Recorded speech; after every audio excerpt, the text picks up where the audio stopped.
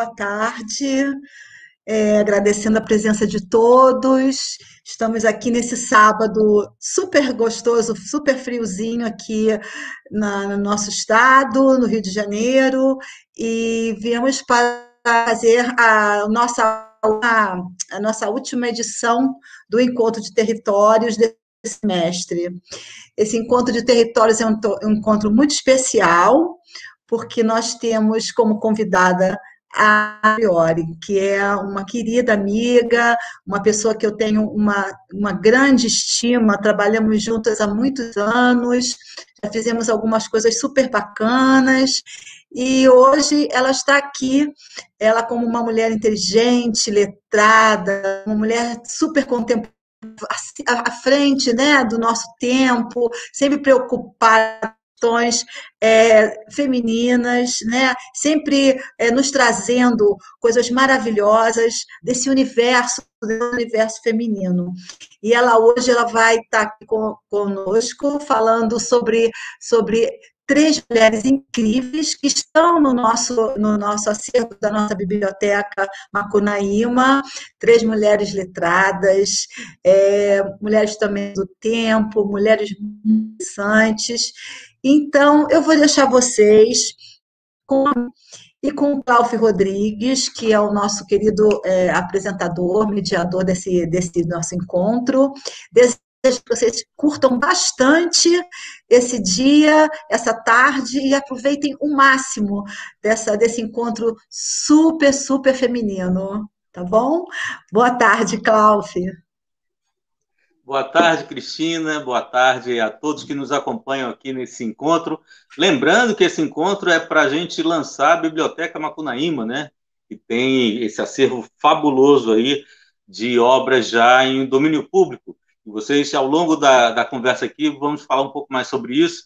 Mas vamos a Mary Del Priori. Mary Del Priori é autora de dezenas de livros. Eu aqui eu tenho, vou mostrar para vocês rapidamente as capas aqui, ó. Príncipe Maldito, Aqui são só algumas obras: Condessa de Barral, A História do Sobrenatural e do Espiritismo, O Castelo de Papel, Matar para Não Morrer, que é a história da, do, do duelo entre Euclides da Cunha e o Dilermando de Assis, O Castelo de Papel, e aqui um romance que ele escreveu, O Triângulo Amoroso de um conde russo, uma baronesa do café e uma ex-escrava no século XIX chamado Beije-me, onde o sol não alcança. Mary Del Priori, vem comigo aqui. Boa tarde, Mary. Como é que vai você? Boa tarde, querido. Tão bom a gente estar junto. Também nós já estivemos juntos em vários eventos, né, Cláudio? Eu devo muito a você. Você é, um, você é um grande. É, você faz as perguntas que o, todo entrevistado gostaria que o entrevistador fizesse. Então, você tem essa sensibilidade.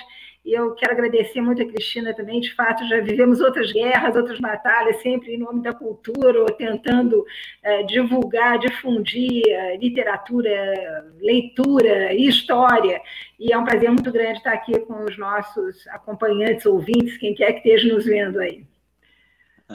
Mary, como mulher, você se imaginaria criando essa obra?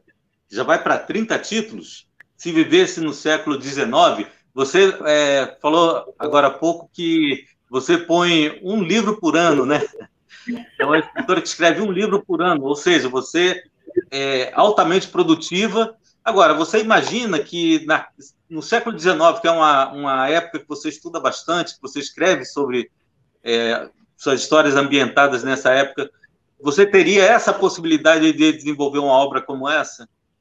Pois é, Cláudio, a gente pouco sabe, né? O século XIX é sempre esse século de reis, rainhas, imperador, imperatriz, uh, mas o pano de fundo é muito interessante e eu certamente, se vivesse naquele período, eu teria embarcado uh, num desses primeiros colégios que vão se abrir aqui no Rio de Janeiro. Eu lembro que a transmigração da família real para o Brasil uh, vai trazer essa moda de professores de escolas privadas, de escolas para mulheres, que no início ensinam piano, balé, costura, enfim, a agenda é uma agenda um pouco parcimoniosa, mas ensinam a ler.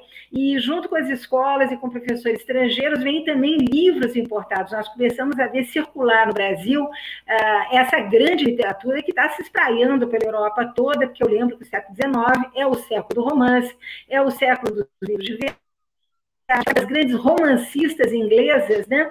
E é o século daquelas daqueles grandes escritores franceses que vão ter um impacto enorme uh, nos nossos românticos, de Alexandre Dumas até uh, Victor Hugo, quer dizer, essa gente toda vai chegando aqui uh, junto com esses barcos, com abertura de livrarias que tem proprietários sempre franceses, e, e, é muito interessante que as mulheres então, têm acesso aos livros, sobretudo quando elas vão em lojas de mercadorias variadas, e elas podem comprar, então, brochuras uh, sobre os assuntos mais variados, que vão de jardinagem à costura, uh, que vão de, uh, de, enfim, de magia negra a, a, a livros de oração.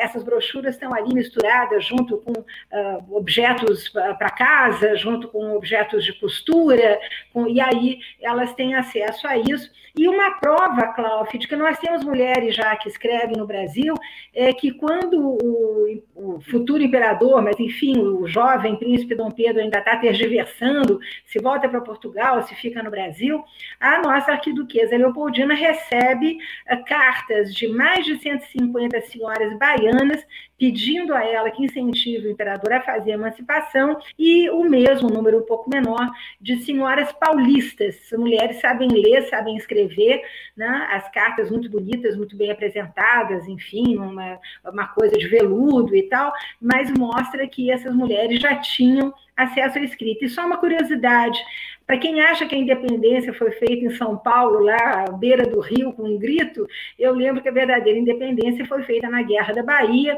né, um ano depois, e nesta guerra nós já temos uma senhora de engenho portuguesa estabelecida no Recôncavo, que vai, como um jornalista de hoje, descrever o que foi a Guerra da Bahia. As mortes, as invasões, a fome, a fuga de escravos, as doenças, essa guerra toda se desenvolve num momento em que a meteorologia está desenfreada, parece que está amaldiçoando ali uh, os portugueses, muita chuva, muito barro, e essa mulher que é uma, uma grande virada, uma mulher com uma personalidade, mandando nos filhos, o marido estava longe, estava em Portugal, era um grande aristocrata, e a correspondência dela com o marido mostra não só esse aspecto jornalístico de que, do que foi essa independência a ferro e sangue, mas também o amor de uma mulher apaixonada que escreve para o marido, sentindo saudade, dizendo o quanto ama.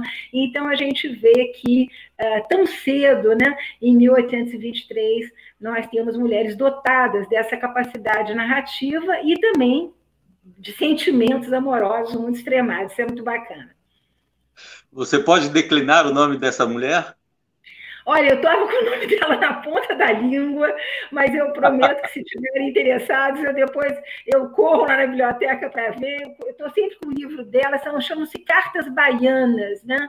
As Cartas Baianas que foram publicadas, inclusive, pela editora do Senado Federal, que é uma editora espetacular, que as pessoas dão muito pouca importância, estão muito focadas em editoras comerciais, e essa editora do Senado Federal, é, que foi fundada, é preciso que se faça justiça, pelo ex-presidente José Sarney, é a editora que se interessa justamente em recuperar essas obras que estão aí completamente esquecidas e as cartas baianas com essa fidalga é, portuguesa ilhada lá na Guerra de Salvador é uma dessas joias é, que a editora publicou.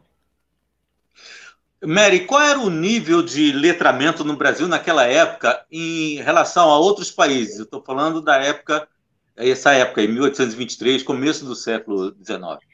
Olha, Cláudio, nós sempre ficamos na rabeira se comparados com os protestantes, né? Protestantes e judeus, onde a leitura do livro é absolutamente obrigatória. Mas eu digo protestantes porque vem justamente do mundo anglo-saxônico um número maior é, de grandes romancistas, de mulheres viajantes, mulheres de embaixadores, muitas vezes, que começam a descrever né, os percursos que fazem. Uh, meu Deus, as irmãs Bronte, uh, todas as grandes escritoras uh, de romance inglês Então, frente ao protestantismo, nós estamos aí numa rabeira enorme, porque as mulheres eram obrigadas a ler a Bíblia.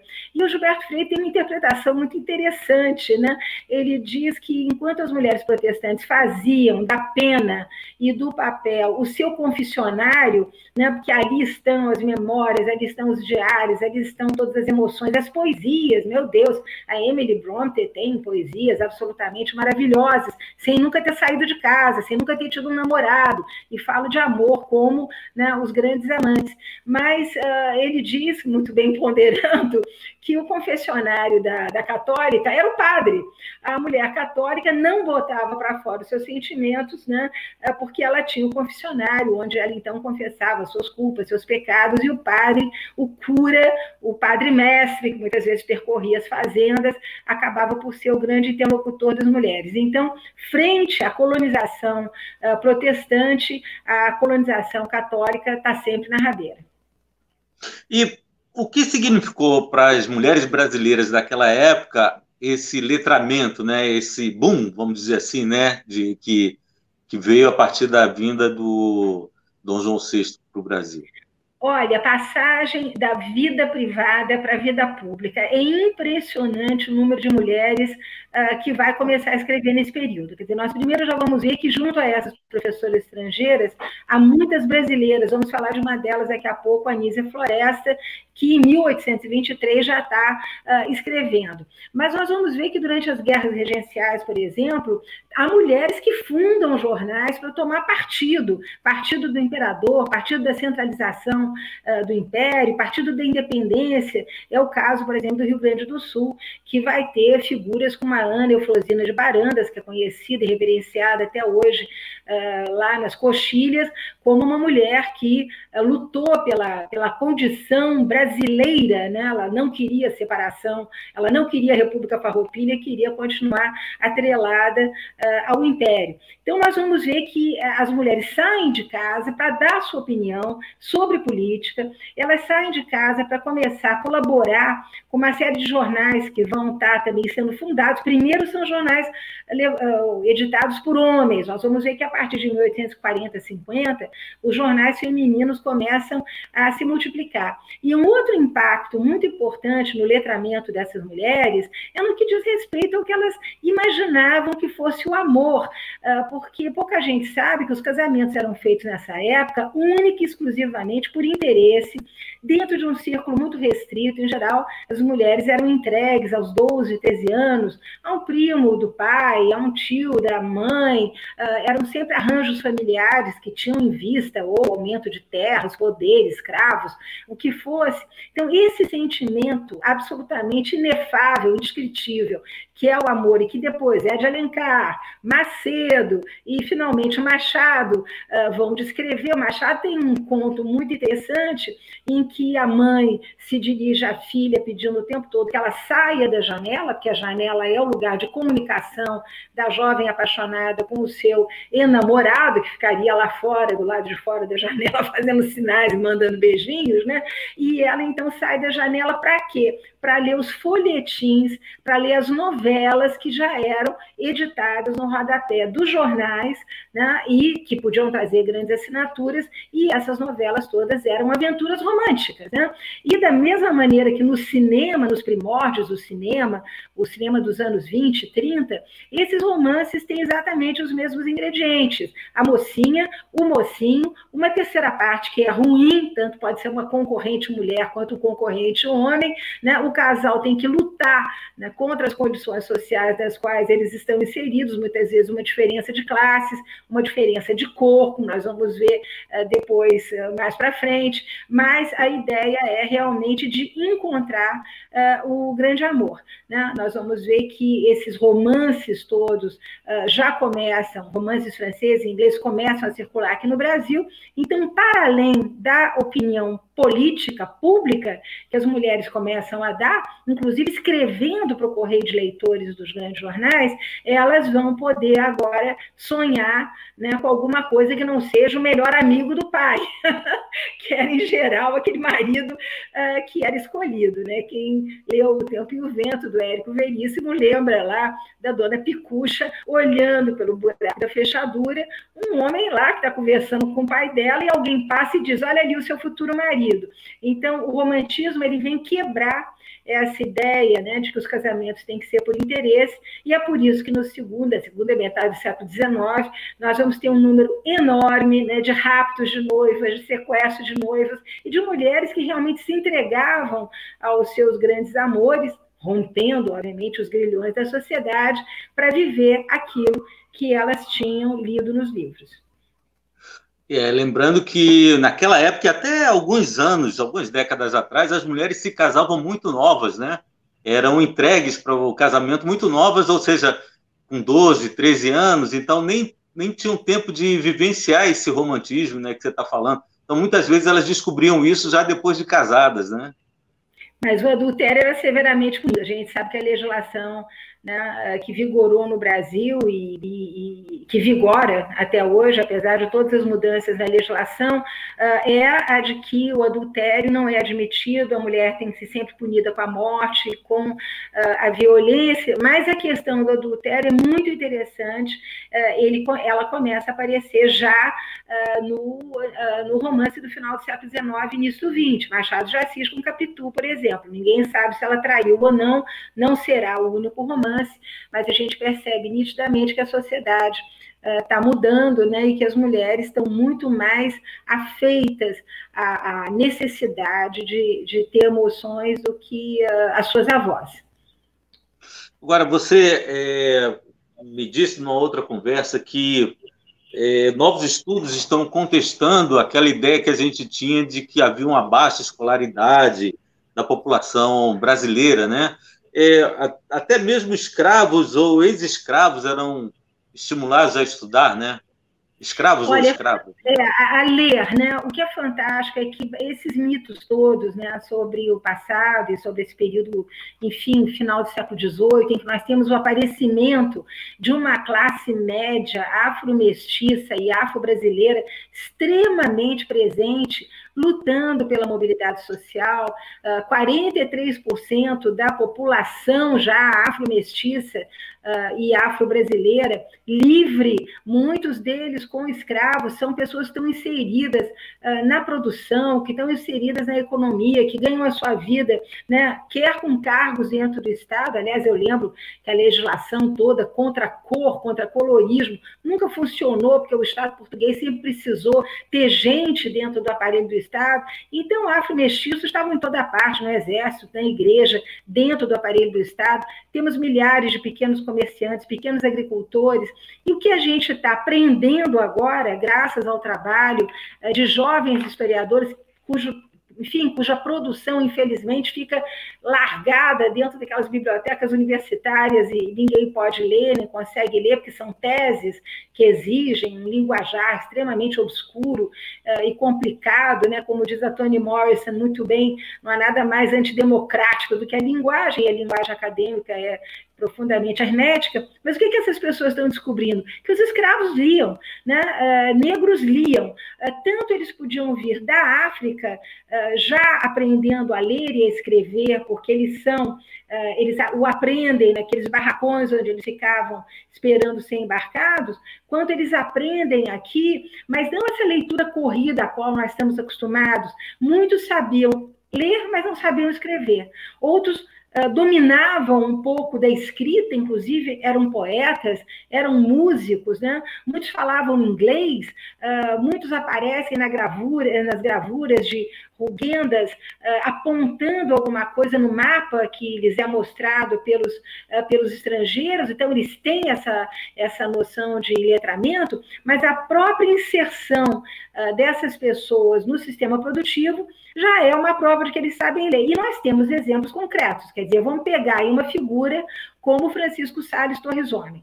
Francisco Torres Homem era um afro-mestiço, filho de uma negra quitandeira, que vendia os seus cheiros ali no Largo do Machado, e de um padre, né? e ele, muito cedo, ele tenta fazer a faculdade de medicina, é levado uh, para o jornalismo, é indicado uh, por um amigo para trabalhar no consulado em Paris.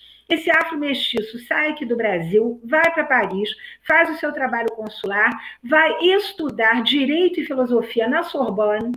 Ele é um dos fundadores do Institut Historique de France. O Instituto Histórico da França é o equivalente do nosso Instituto Histórico e Geográfico Brasileiro, do qual ele será fundador eh, mais à frente. Ele volta para o Brasil, ele vai esgrimir com eh, Dom Pedro II, inclusive num jornalismo muito duro, acabando com a família Bragantina. Depois ele de liberal passa conservador e faz uma trajetória brilhante. Ele se torna presidente uh, do Banco do Brasil, ele se torna ministro das Finanças, uh, ele acaba vindo como senador do, do Império e visconde com grandeza. Quer dizer, a história daquele menino pobre, né, que graças a uma mãe que o incentiva a estudar, faz um percurso absolutamente brilhante. E como eles, temos outro outros afro-mestiços e afro-brasileiros eh, que tiveram uma trajetória brilhante. Quer dizer, quem passa ali pela URCA, eh, Instituto Juliano Moreira.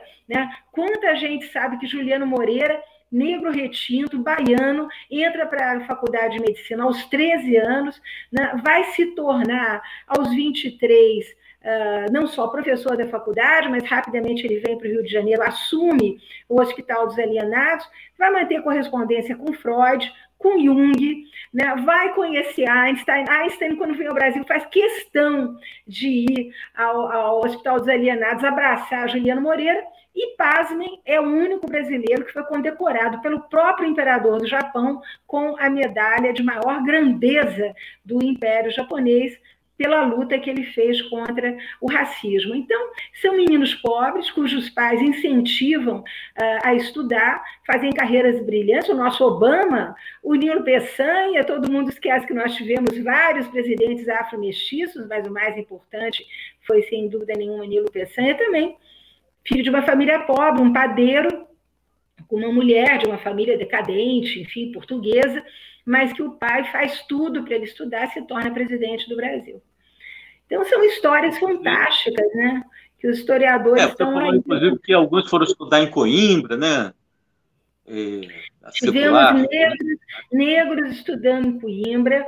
Eu lembro que a, a cor da pele não tinha qualquer peso.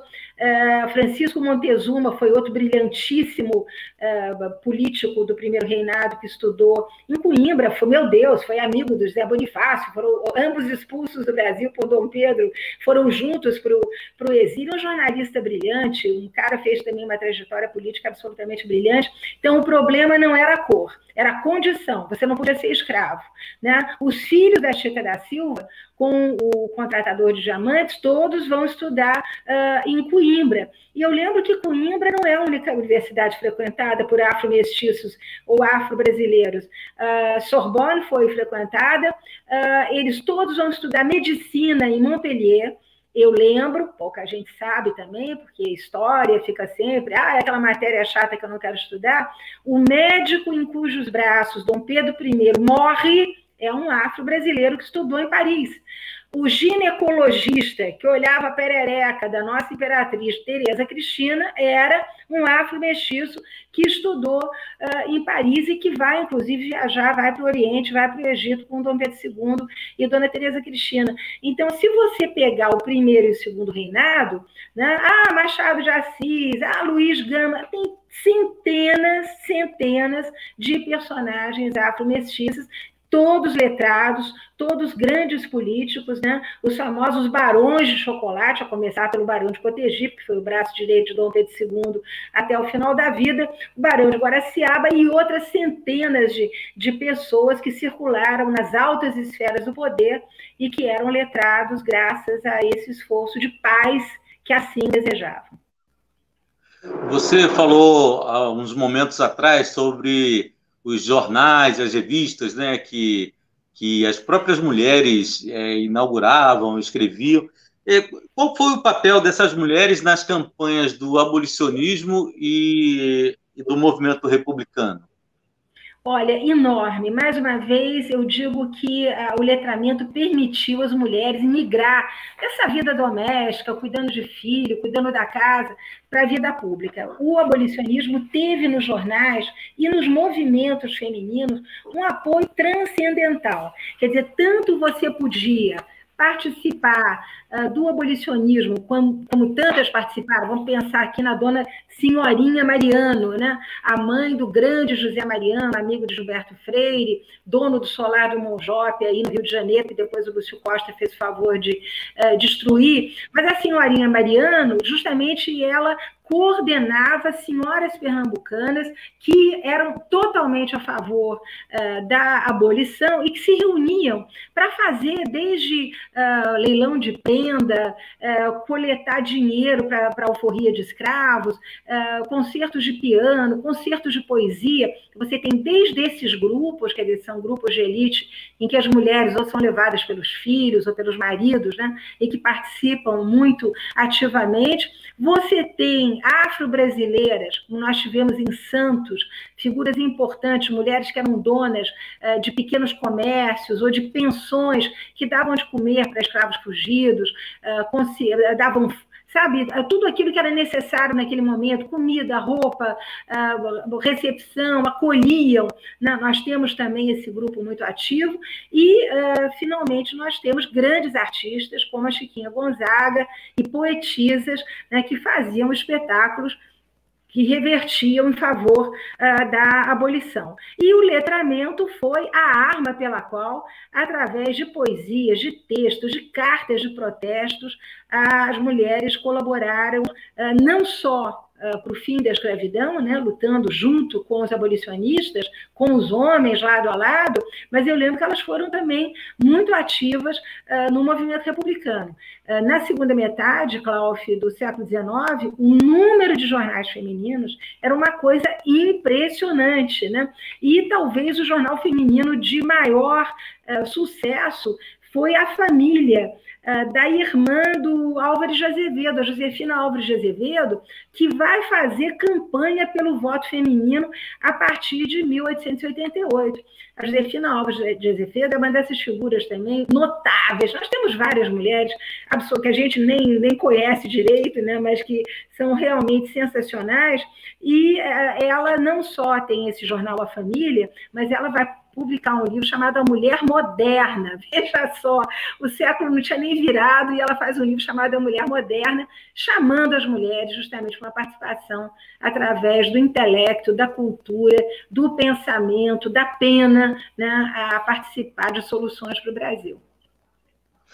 Mary, vamos agora destacar algumas dessas mulheres formidáveis, né? Vou começar com a Maria Firmina dos Reis, que tem esse livro publicado, Úrsula. É, vou falar é. rapidamente, falar um pouquinho da biografia dela, tá? tá? O resumo da biografia. Maria Firmina dos Reis nasceu em São Luís em 11 de setembro de 1825 e morreu na cidade de Guimarães, também no Maranhão. Filha ilegítima de pai negro, negra ela própria e proveniente de família de posses modestas, a autora carregava todos os marcadores da desclassificação social mas o que que trouxe o nome dessa mulher aparentemente tão comum até nossos dias?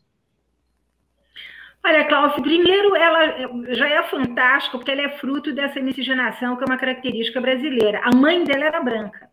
Quer dizer, não é o homem é, é, o homem negro casando com a mulher branca já, e isso você já tem uh, nessa época em que a Maria Firmina uh, escreve, qualquer coisa como 73% uh, da população mestiça. E embora ela tivesse essa aparência de classificação, ela tem estudo, ela vai estudar, né? ela é uma professora formada, ela tem voz nos jornais, ela já é uma jornalista bastante conhecida, não diria que consagrada, porque a consagração dessas autoras femininas, brancas, pardas ou negras, elas só vai, elas só vai ser, é, digamos, elas só vão ser recuperadas agora, graças aos estudos, né, é, sobre a condição da mulher, os estudos de gênero e a companhia. E a Úrsula justamente é um romance uh, em que ela conta os amores de um jovem branco de elite com uma moça parda, mulata era a palavra que se usava uh, na época. Eu sempre aproveito para lembrar que mulato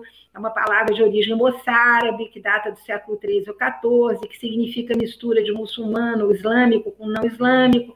Então, essa noção de que ah, é mula, é mula, não. Vamos fazer um pouquinho né, de história das palavras para entender que desde a sua origem a palavra está designando aí uh, mistura. E ela publicou vários livros, antologias, ela era também compositora de músicas, ela se fazia transportar numa carroça de bois, ela, ela tinha o que eu acho notável, paixão pelo que ela fazia, porque ela se fazia transportar áreas ali limítrofes eh, de São Luís, onde ela dava aulas gratuitamente para crianças pobres. Então, era uma vocação. Elas, essas escritoras todas, é bom que se sublinhe isso, estão muito, muito, muito engajadas na questão da educação uh, da, da, da, camada pobre brasileira. Elas e tinham entendido ali que não bastava abolição, que não bastava república, né?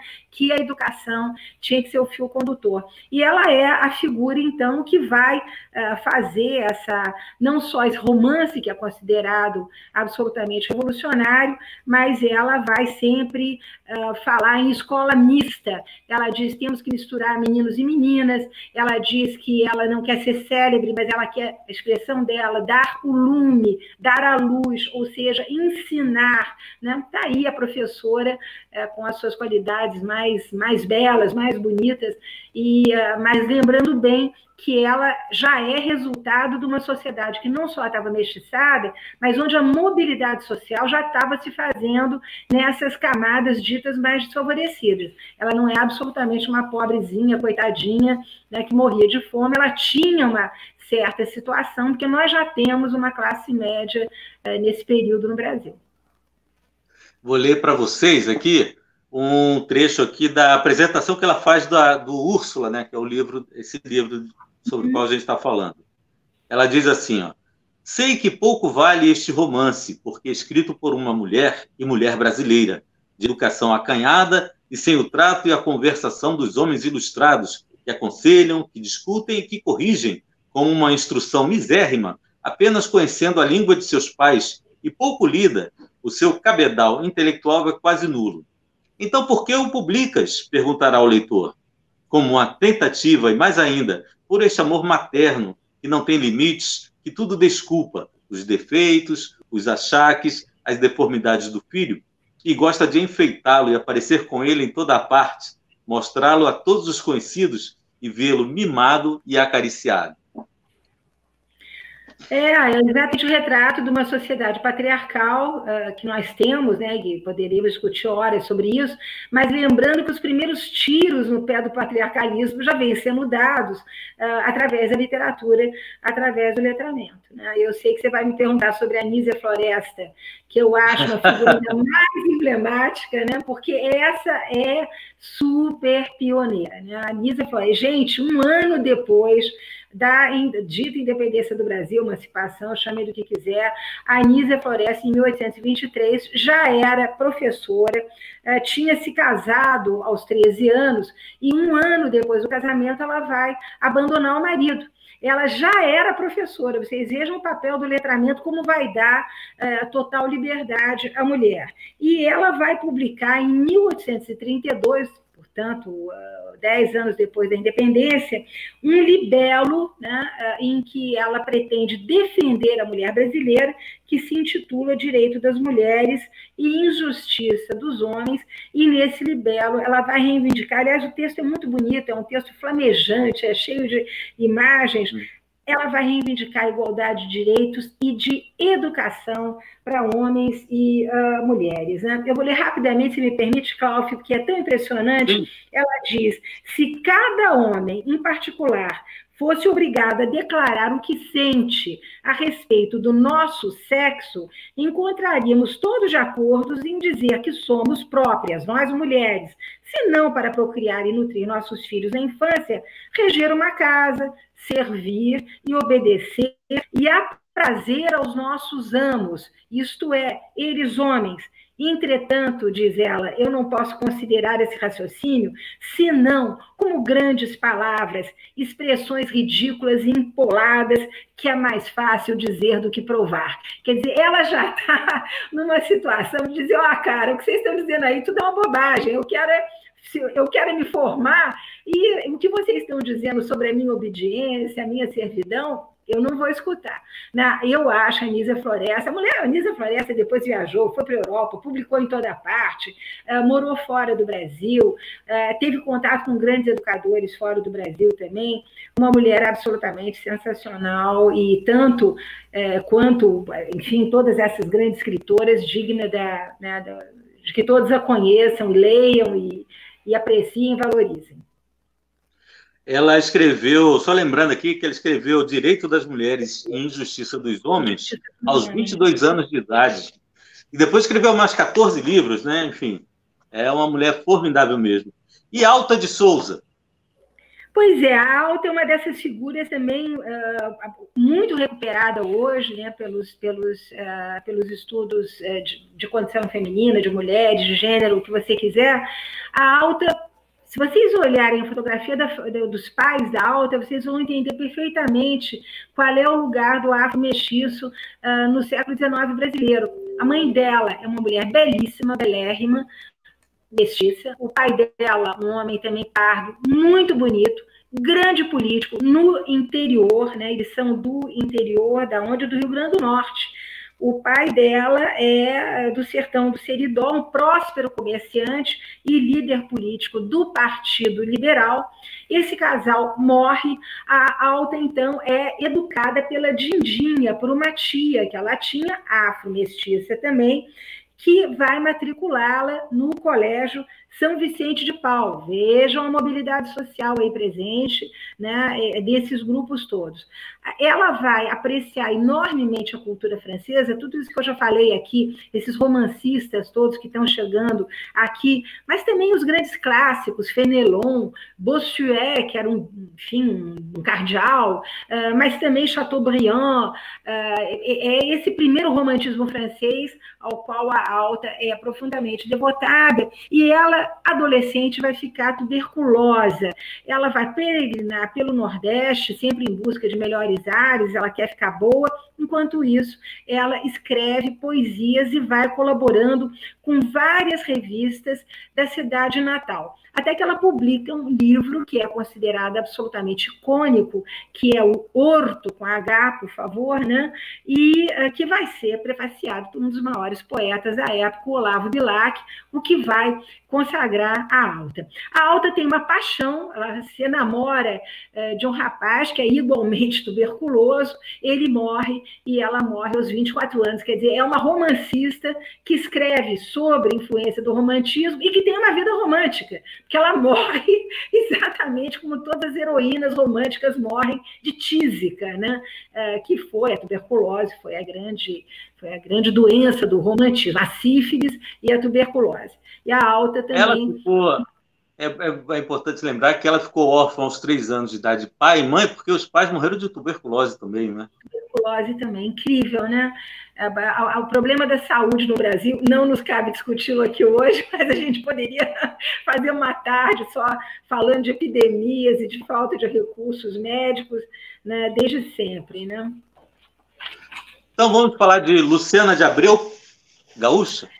Luciana também uma figura incrível, uma menina encontrada na porta de uma casa, né? também afro-mestiça, abandonada na roda dos expostos de Porto Alegre. Eu lembro aqui aos nossos queridos ouvintes que a Santa Casa de Misericórdia sempre teve um papel enorme no acolhimento de crianças abandonadas e que havia a famosa roda, que está até em exposição agora quem quiser ir ao MAR, Museu de Arte do, do, do Rio de Janeiro, está com uma exposição maravilhosa e a roda de exposta, a nossa Santa Casa, tá, Rio de Janeiro, está lá exposta. E ela uh, tem uma, uma formação uh, religiosa, muito, é, uma espécie de sobrevivente, né?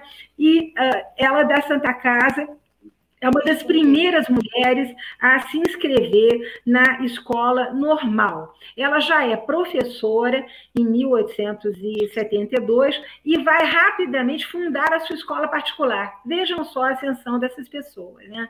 Quer dizer, como o letramento é o elevador social em todas as épocas.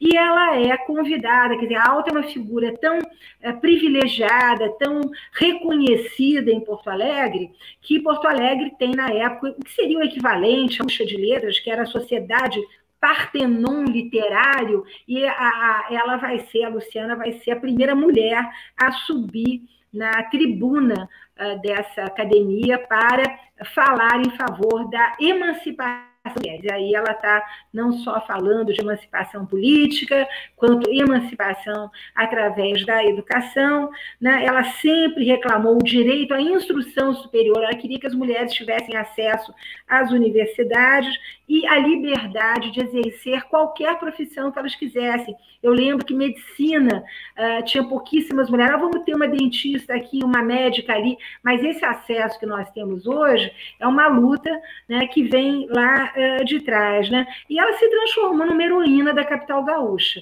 Eu acho que falar tanto na, na, na, na Eufosina Barandas quanto falar na Luciana de Abreu é reconhecer o papel do Rio Grande do Sul, que, aliás, tem excelentes editores, excelentes casas é, que publicam livros e excelentes escritores. Então, é uma grande tradição aí de livro e literatura. Uma mulher que me chama muita atenção pela história dela toda, né, é a Júlia Lopes de Almeida, né? Ela faz um pouco do perfil dessas mulheres sobre as quais a gente conversou até agora. Mas que mulher fascinante, que história, né?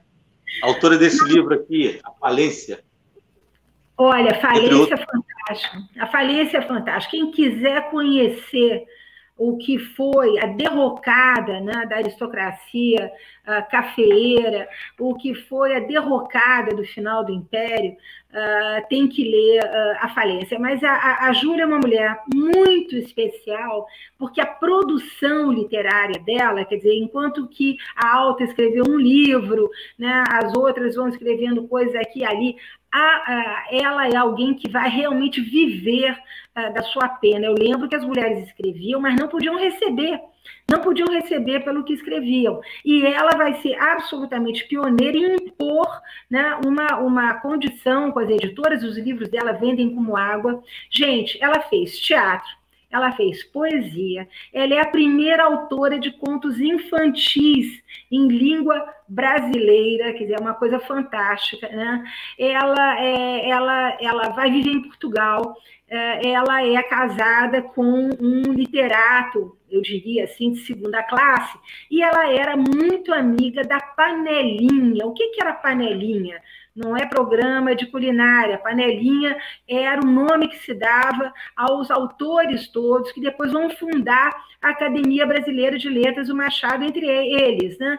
E ela era queridíssima na Panelinha. E quando vai se começa a falar da fundação, né, que a República é, tem sempre que arcar, vamos também aos fatos históricos. Né? A gente sabe que a academia não foi só o desejo de difundir a língua portuguesa, brasileira, portuguesa, a literatura, foi também a necessidade de muita gente que estava sem um tostão furado, porque eram monarquistas, é o caso do Joaquim Nabuco, né? é o caso de outros autores, e que na República vão ficar sem um tostão furado, deles terem um cachezinho, deles terem um dinheirinho para viver. Então, quem fez a história o jetonzinho. Isso tudo nasce desse sustento que o Estado brasileiro vai dar para as letras e querem que ela entre de qualquer jeito. Mas ela diz: olha, a Academia Francesa de Letras, na qual vocês estão se inspirando, não deixa a entrada de mulheres. Aliás, eu lembro que a primeira mulher a entrar na Academia Francesa foi a grande Marguerite Yourcenar,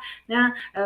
belíssima autora de Memórias de Adriano e outros tantos livros magníficos, mas acho que nos anos 80, se não me engano. Né? A brasileira, até com a Raquel de Queiroz, coloca a mulher na academia antes Mas a Júlia, muito elegante, diz: olha, por que, que no meu lugar vocês não botam o meu marido, que era um poeta medíocre e tal, mas que, bumba, entra graças aos auspícios uh, da Júlia Lopes Almeida. Eu só quero lembrar que nesse livro que o Cláudio está recomendando, A Falência, que está na Biblioteca Macunaíma, ela aborda a questão do adultério. E ela aborda a questão do adultério com uma, uma modernidade impensável para a época. Eu lembro que foi a época em que o Euclides da Cunha quer matar a mulher e acaba sendo morto pelo Dilermando de Assis porque ela o traía, né? Então era uma época de de, de, tiro para um lado e tiro para o outro. Mas ela aborda a questão do adultério com muita igualdade. Ela diz: olha, remorso. Ela fala de uma personagem lá que, que trai. Né? Ela diz remorso, eu remorso, que remorso? Ele me trai, eu traio ele. Quer dizer, é uma, é uma coisa fantástica o que a Júlia está colocando uh, nessa época. Ela diz assim, mas qual homem que não trai? Por que, que, eu vou ter remorso de trair? Se todos eles traem, por que, que eu não vou trair também? A personagem falando, né? Mas isso mostra bem a cabeça incrível da Júlia Lopes de Almeida, que além do que além de ser uma mulher brilhantíssima, generosa, como vocês podem ver, que tinha inclusive projetos para o Rio de Janeiro. Ela pensa as cidades né, do estado do Rio de Janeiro como cidades jardins. Ela é uma ecologista, né? A Van Laletre, ela incentiva o plantio de flores, de árvores, ela pensa essa cidade jardim. Enfim, ela é realmente uma mulher de mil e uma uh, ideias. Além de tudo, uma mulher muito bonita. Né? O retrato que a Academia uh, Carioca de Letras tem da Júlia é de uma mulher que, enfim, poderia estar aí uh, a capa de qualquer revista de moda, uma cara moderna, uma mulher bonita, uh, fantástica. Eu vou ler para vocês aqui um trecho do A Falência, né?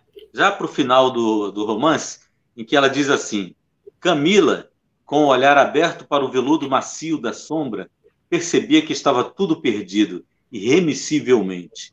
No outro dia, escreveria uma carta a Gervásio com a sua última palavra, o adeus definitivo. As lágrimas rolavam-lhe em fio pelo rosto abrasado. Estava bem certa de que aquele era o dia de sua segunda viuvez. Perdera na primeira o aconchego, as honras da sociedade, a fortuna e um amigo calmo que não a repudiaria nunca. Na segunda, perdia a ilusão no amor, a fé divina na felicidade duradoura, o melhor bem da terra. Uma escritora também de um, uma, um nível de mão né? Não, e ela é o uma que, que ela revela? literária. Não, incrível. É, é, é, realmente, eu, eu acho uma, uma, uma escritora superior. Eu, as outras são todas muito importantes, mas ela é, de fato, uma escritora uh, superior. Né? E esse livro, ele também desvenda a hipocrisia dessa sociedade uh, do fim do império, que só privilegiava o dinheiro. Porque a falência, porque quando eles perdem tudo, é, todo mundo toma um pé nas costas, né? E eles vão viver numa fazenda e a correspondência dela com uma amiga também. E aí ela entra, a, a digamos, a voz moralizadora é, da autora, dizendo: olha, mas veja o lado positivo, é, aprenda a plantar, se interesse por agricultura. Há toda uma mensagem, é, a expressão é, desculpe, infeliz, mas no fundo é o que a gente sente, de autoajuda. Olha, vai se virar, coragem, bola para frente. Quer dizer, essas mulheres cuja única função era obedecer e servir, né, como diz a Nízia Floresta lá atrás, ela diz: olha, acaba com isso, vai fazer sua vida, vai descobrir aí que lugar maravilhoso você está, o que, que você pode fazer aí. Então, é, é, é, essas várias revelações sobre a sociedade, que continuam muito atuais, né? É, fazem dela, a meu ver, uma escritora de uma atualidade devia estar no vestibular, ah, bota aí para falar de feminismo, não precisava, né? Quando teve aquela prova que caiu a Simone de Beauvoir no, no, no vestibular, eu, eu, eu me insurgi, escrevi contra, escrevi para os jornais. Por que não botar a Nízia, né? Por que não botar as nossas autoras que foram tão é, clarividentes sobre a situação da mulher brasileira? Não precisava botar uma estrangeira. Mary, estamos chegando na reta final do nosso encontro, mas antes de passar as perguntas dos, dos nossos assinantes, digamos assim, as pessoas que estão vendo a gente aí, é, eu queria que você falasse sobre o livro que você está escrevendo atualmente sobre a Tarsila do Amaral. Pois é, Cláudio, isso é, digamos, é, é é um assunto que nos interessa a todos, porque nos fala também das mudanças que estão se operando aí é, no mundo da produção literária, né? que é a chegada dos audiolivros. O audiolivro é aquele livro que você vai escutar e não que você vai ler. Você vai escutar por quê? Porque você está com as mãos ocupadas, você está cozinhando, você está é, você tá digitando, você está dirigindo. O audiolivro, então, ele vem para preencher aí eu diria, uma mudança de comportamento das pessoas, uma mudança da sociedade. Quem sabe, acostumado muito com imagem, com televisão, as pessoas não passem a ler mais graças ao audiolivro. Então, essa foi uma encomenda que eu tive pela Storytel, que é a maior firma de audiolivros do mundo. Uh, e eu confesso a você que, para mim, a Tarsila era ali o Abaporu, a Negra, né, as festinhas de São João, o casario da roça. Ela, é, ela nasce uh, no interior de São Paulo, uma família que, longe de ser rica, milionária, o pai dela era um agricultor, um cara remediado, bem, o avô foi o agricultor mais rico ainda, e tal, mas é aquela época em que o Brasil era, se não continua sendo, né, um grande celeiro, então, é, milho, cana, café, tudo junto ali nessa região de, de, de, Piracicaba. Ela morava ali perto, de, entre Jundiaí, Piracicaba e, e uh, Itupeva as, eram duas ou três fazendas, que eles tinham, leia-se fazenda muito simples, casa caiada de branco, janela de veneziana, nada da fazenda do Paulo Prado, castelos, nada disso, uma família remediada, mas ela, obviamente, vai estudar em colégio de freira, ah, casa-se muito jovem, aos, aos 20 anos, de acordo com a, a época, com um primo da mãe, casamento, obviamente, não dá certo. Ah, porque ele não gostava de arte. Não, ela nem. Na época pintava cestinho de flor, pintava galinha, pintava pintinho, gatinho, não fazia nada do que ela vai fazer depois. Eles se divorciam, provavelmente por outras razões. Nessa época, os estudos sobre divórcio em São Paulo mostram bem que as violências conjugais é que ditavam os divórcios e que as mulheres raramente se abaixavam, queriam mais se separar, e ela então vira aquela solteirona. Isso é um negócio que a gente não consegue muito imaginar, porque a gente imagina sempre a Tarsila sexy, a Tarsila chique, a Tarsila de parisiense, e ela passa dos 21 aos 30 anos entre a fazenda dos pais e a casa do avô em São Paulo, tendo aulas de pintura, né? Até que ela vai, ela conhece a Anitta Malfatti, que vai ser uma espécie de fada madrinha da vida dela, porque a Anitta já vinha dos Estados Unidos, tinha estudado fora, vinha com a, a pintura expressionista toda. É a Anitta que vai apresentar a Tarsila para o Oswald de Andrade, para o Mário de Andrade, para o Menotti Del Pique, e ela faz um curso, um pequeno curso em Paris, e quando volta, vai integrar esse bando que recém havia feito a semana de 22. Ela não está na semana de 22. Ela não conhece a arte moderna, ela está pintando vaso de flores, escultura, Nossa Senhora, tem nada a ver com a pintura que a gente vai ver eh, dela depois. Ela se envolve com Oswald, naquela época, uma mulher separada, era uma mulher maldita, né? era uma adúltera, era uma mulher desfrutável. Então, eles vão encobrir esse romance de todo jeito possível. Né? Ela vai para Paris continuar estudando, e aí ela vai conhecer Leger, ela vai começar a conhecer o cubismo, embora ela tenha dito, eu conheci o cubismo em São Paulo com os meus amigos, Menotti, Oswald, Mário e, sobretudo, a Anitta. E, e eles vão fazendo essa vida nessa época, gastando muito dinheiro, ela consegue finalmente a separação dela e eles vão se casar. Não preciso dizer que o Oswald era muito mal visto por toda a sociedade, pelos pais da Tarsila também, e eles vão viver alguns anos juntos, realmente naquele auge uh, tanto do, do movimento modernista, quer dizer, primeiro a fase pau-brasil dela, que vai ser muito influenciada até por modismos que haviam em Paris. A, França, nesse momento, saindo uh, da Primeira Guerra Mundial, estava altamente impregnada né, da, do interesse por aquilo que eles chamavam uh, das culturas não civilizadas, a África, o México.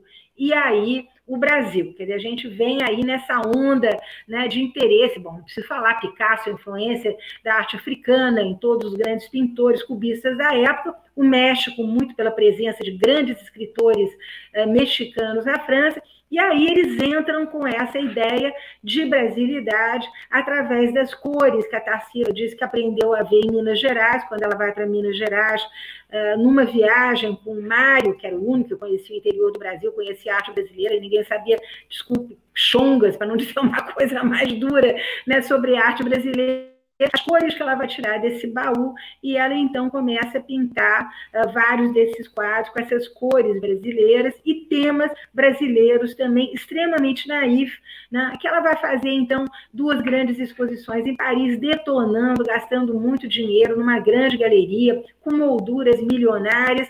A verdade é que o final dos anos 30 está chegando, uh, craque uh, da Bolsa de Nova York, os negócios do Oswald que era um bom de um picareta, sempre fazendo coisas aqui e ali, se dizendo milionário e perdendo rios de dinheiro, também vão para o vinagre.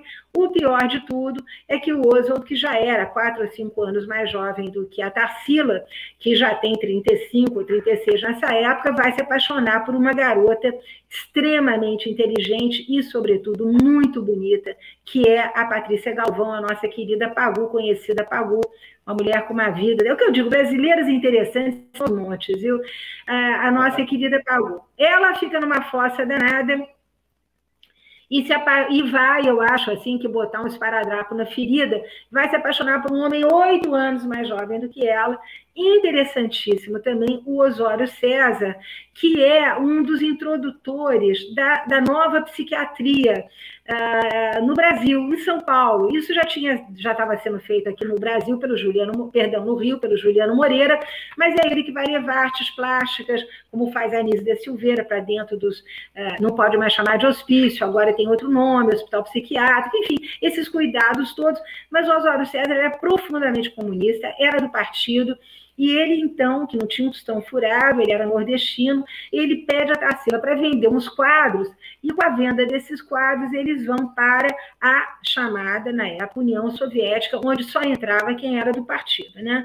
É óbvio que a Tarsila vai ficar duplamente mal vista, ou triplamente. Ela já era separada do primeiro marido, casamento fiasco com Oswald, ah, agora comunista, né? ela que era uma mulher tida por alguém que se vestia com roupas do Poiré, que era o máximo do, do, do, do, costureiro de Paris, que tinha um apartamento próprio em Paris, enfim, as pessoas não sabem, mas Paris era extremamente barato naquela época, né? Ela mesmo diz para o Mário de Andrade, venha, venha, que é baratíssimo, mas enfim, coisas que colaboram um pouco para esse mito.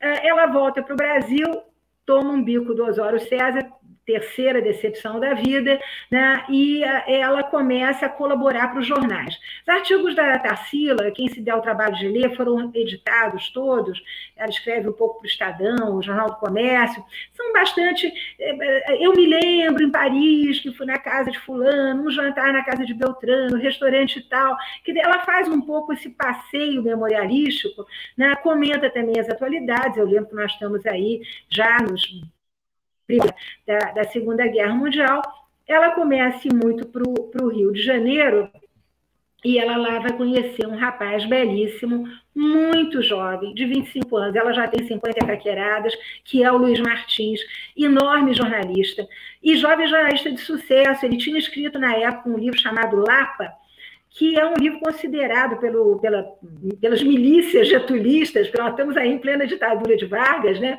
um livro pornográfico. Não tem nada de pornográfico. É um livro onde ele conta a história tristíssima. Ele é também ligado ao Partido Comunista das prostitutas que morrem à míngua, famélicas, famintas, a pobreza, a doença. Então, mas ele é perseguido por isso. Ele vai viver com a Tarsila na fazenda, na última fazenda que tinha sobrado, que ela tinha conseguido recuperar, que tinha sido empenhada com o craque da bolsa e tudo, e eles vão viver juntos durante 23 anos. Um grande romance. Não preciso dizer que, mais uma vez, Tarsila vai ser abandonada por uma mulher 30 e poucos anos mais jovem do que ela agora, que é uma sobrinha dela, então esses golpes são sempre muito duros. Agora, as cartas da Tarsila revelam uma pessoa acima da média no sentido, Klauf, da espiritualidade dessa mulher. Ela era uma mulher altamente espiritualizada. Eu lembro que ela teve passagem por vários colégios religiosos, e essa marca né, dessa, eh, dessa, dessa generosidade, dessa compreensão, desse olhar sobre as paixões alheias, muito condescendente, isso é muito. Quem estudou em colégio freire, eu estudei, é, é uma marca muito forte é, da, da, da educação. E ela vive tudo isso pensando sempre na felicidade do outro. Deve ter sido uma dor horrorosa para ela perder o Luiz, que ela amava desesperadamente, além de ser um gato, um homem belérrimo, inteligente, depois vai virar grande jornalista do Estadão. Breve.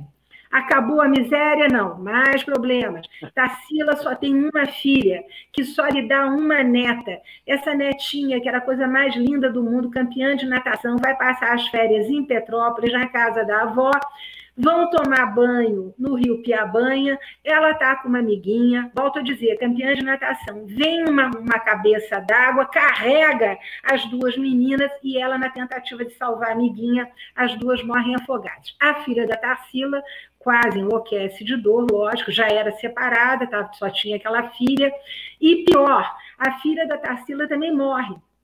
Como se não bastasse, né? porque coisas escritas no céu e na terra, a Tarsila toma um tombo, vai, vai fazer uma operação nas costas, tem uma, um nervo seccionado e ela vai viver numa cadeira de rodas e vai passar a vida dela numa cama. Ela desenvolve aí uma, uma relação muito grande com o Chico Xavier. Ela tem uma correspondência muito grande com Chico Xavier e também profundamente espiritualizada, muito ligada à igreja. E é uma mulher que vive, é é uma, é uma coisa bonita como a fé vai deixar essa mulher continuar vivendo, porque é disso que se trata. Ela sobrevive graças à fé dela. Então, é uma história dramática, muito bonita, né? É, me permitiu desmistificar algumas questões, como eu gosto de fazer, e o audiobook sai o ano que vem, centenário da semana de 22, junto com o centenário também da independência do Brasil. Ô, Mary, é, a gente está chegando bem para o final, já, já tem, temos uma hora de conversa, ficaríamos mais três, quatro horas conversando aqui. E agora vamos ouvir o que, que o povo que está vendo a gente aí quer perguntar, né? A gente sempre abre. Aí eu peço para a Jana e para a Dani selecionar, selecionarem algumas dessas perguntas aí para gente. E peço também para a Mary ser bem objetivo nas respostas, porque a gente já tem muito tempo aqui, né? Então vamos lá ver perguntas. A Jona Apolinário está dando boa tarde. Sérgio Mendes, boa tarde. Michele Vieira, boa tarde. Boa tarde, Michele. A Marilza Moretti, boa tarde também. Robson Vieira, boa tarde. Cadê as perguntas? Joana Apolinário, Ô, Joana, tudo bom? Boa tarde para você também. Ô, Lúcia, tudo bom, Lúcia? Escritora, grande escritora. Boa tarde também. Lógico, querida amiga. Mar Macedo. Você conhece a Lúcia, né? Muito, Olha, adoro ela. Olha, o pessoal não fez pergunta nenhuma até agora. Vamos sem perguntas então, pessoal? Todo mundo já cansou, será? Michelle, vamos lá. Não, acho que não cansou, não. É porque você, você fala muito bem e você, pela sua própria formação, pela sua própria história, você é uma pessoa que fala com muita clareza. Então, é, depois que você fala, não tem muito mais o que perguntar, né? Você acaba cobrindo todas as, todas as perguntas. Então, olha, eu queria lembrar para vocês que a gente tem a Biblioteca Macunaíma, está sendo disponibilizada para todo mundo poder ler os clássicos, especialmente os clássicos brasileiros, né, que a gente precisa ler sempre, é, para qualquer pessoa. Então, a gente é, tem aqui obras de Arthur Azevedo, tem obras de Machado de Assis, de Euclides da Cunha, gente tem obras de Lima Barreto, Olavo Bilac, Raul Pompeia e de algumas dessas mulheres sobre as quais a gente conversou aqui, né? É uma biblioteca fantástica que vem somar-se a outras iniciativas da, do Instituto Odenburg nessa luta que a gente tem aqui no Brasil pelo aprimoramento da escrita e pelo letramento das pessoas em geral, não só das mulheres, mas das pessoas em geral. Você deve ter visto alguma coisa da biblioteca. Assim, o que, que te chamou a atenção, Mary? Um, um livro assim, Olha, você... primeiro eu acho fundamental a importância dos clássicos, né? Quer dizer, voltar a ler os clássicos. Eu até incentivo muito os meus alunos de pós-graduação, que são jovens professores de história, para usar a literatura em sala de aula para tratar de história. Eu acho até que as duas matérias tinham, tinham que conversar mais, sabe? Porque, meu Deus, todos esses livros, toda essa biblioteca que você mostrou aí rapidamente, são obras que nos elucidam sobre o Brasil no passado, que nos ajudam a pensar o Brasil presente. Então, eu acho que tinha que haver uma conversa mais estreita entre literatura e história na sala de aula. Mary, muito obrigado por essa conversa, pela sua presença aqui. Muito obrigado a, a Dani, a Janaína, a Cristina Oldenburg por esse espaço generoso que ela nos cedeu aqui para ter essa conversa ótima. Eu gostaria de chamar justamente a Cristina Oldenburg para finalizar essa conversa hoje aqui da gente com esse público maravilhoso aí que nos deu muitas boas tardes nessa tarde chuvosa. Gelada. Gelada. Você, inclusive, acabou botando um casaco aí, eu vi. Né? Devia estar frio, né? Porque você também. Olha, a Cristina apareceu. Vamos lá. Obrigado, Mary. Obrigado, Cristina. É com você agora. Assim sou, Cristina. É. Tá.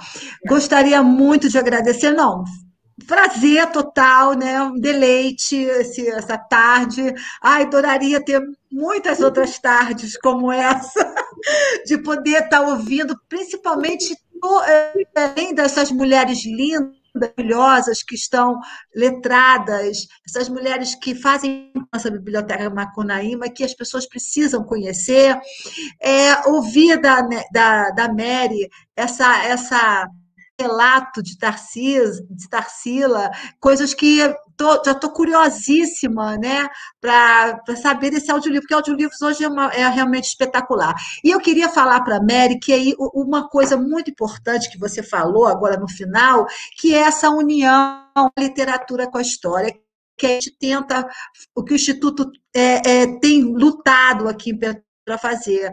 Como a festa literária é uma festa é, numa cidade tão emblemática da nossa história, né, com muito conteúdo histórico e literário, então é isso que nós, nós temos feito nesses últimos anos, sempre fazendo essa, essa, essa ligação entre a literatura e a história, porque isso é fundamental para que nós possamos entender melhor o nosso país, né? E a literatura ela tem um, papel fundamental, né? Nesse processo de entendimento do nosso hoje, para que a gente e, nosso do nosso do nosso presente que a gente possa é, entender o que o que vem pela frente e, e trabalhar e construir esse, esse novo país que nós precisamos construir.